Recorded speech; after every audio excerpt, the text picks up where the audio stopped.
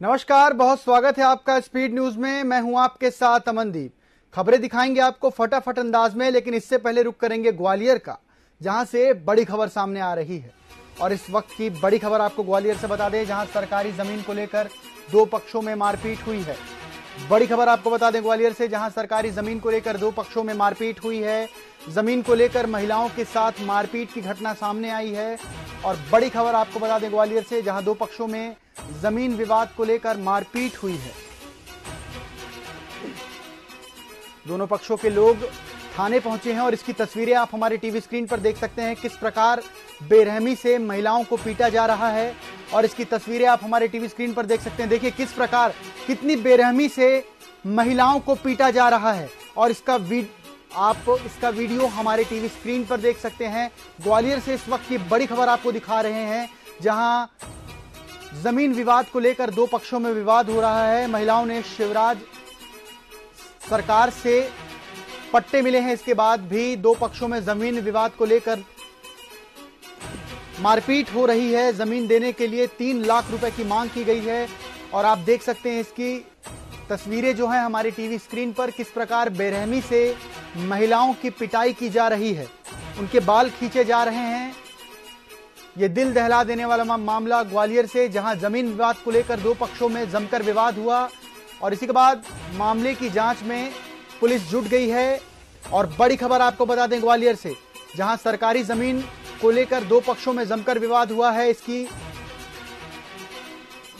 इसका वीडियो भी आप हमारे टीवी स्क्रीन पर देख सकते हैं। ज़मीन को लेकर महिलाओं के साथ मारपीट की घटना सामने आई है और बड़ी ही बेरहमी के साथ महिलाओं की पिटाई की जा रही है। और इस खबर पर अधिक जानकारी के लिए हमारे साथ हमारे संवाददाता सागर शर्मा जुड़ गए हैं। सागर, ज़मीन विवाद को लेकर दो पक्षों में विवाद हुआ है। बड़ी ही बेरहमी तरीके से महिलाओं की पिटाई की जा रही है। वाक्य बताइए पूरी जानकारी दीजिए इस खबर की। आ, सर ये ग्वालियर के जासी रोड थाना क्षेत्र का पूरा मामला है जहाँ पर आज सुबह करीब जमीनी विवाद के कारण रामनगर बस्ती में कुछ लोगों के द्वारा महिलाओं की काफ़ी मारपीट की गई है और महिलाओं के बाल खींचने का यह वीडियो भी लगातार सोशल मीडिया पर वायरल हुआ है जिसके बाद जासीपुर थाना पुलिस ने कार्रवाई करते हुए दो लोगों को हिरासत में भी ले लिया है।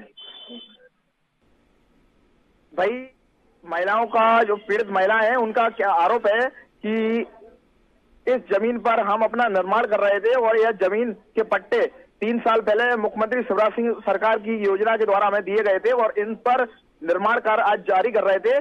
तभी कुछ लोगों के द्वारा, दूसरे गाँव के लोगों के द्वारा तीन लाख रुपए हमसे मांगे गए और तीन लाख रुपए नहीं देने की दशा में हमारे साथ में मारपीट की गई। जी, सागर, कहीं ना कहीं बड़ी गुंडागर्दी देखी जा रही है। जब शिवराज सरकार ने खुद महिलाओं को पट्टे बांटे हैं, उसके बाद भी तीन लाख रुपए की वसूली की मांग महिलाओं से की गई। इसमें किस प्रकार की कार्रवाई पुलिस प्रशासन ने की है?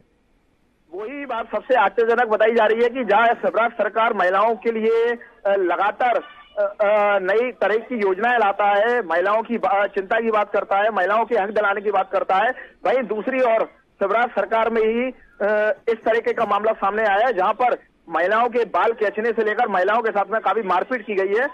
और सबसे बड़ी बात है कि जो महिलाओं को सरकारी पट्टे उपलब्ध करवाए गए थे, उसके बावजूद वो उन पर निर्माण कर रही थी। उसी समय तीन लाख रुपए मांगने की बात सामने नज़र आ रही है। जी, तमाम जानकारी के लिए धन्यवाद सागर आपका। तो बड़ी खबर आपको ग्वालियर से बता दे, जहाँ ज़मीन विवाद को लेकर दो पक्षों में विवाद हो गया। विवाद इतना बढ़ गया कि महिलाओं की जमकर पिटाई कर दी गई। बड़ी ही बेरहमी से उनके बाल खींचे गए। इसके बाद पुलिस ने बाल खींचने वाले, महिलाओं के साथ विवाद करने वाले दो आरोपियों को हिरासत में भी लिया। इसका वीडियो सोशल मीडिया पर वायरल हुआ।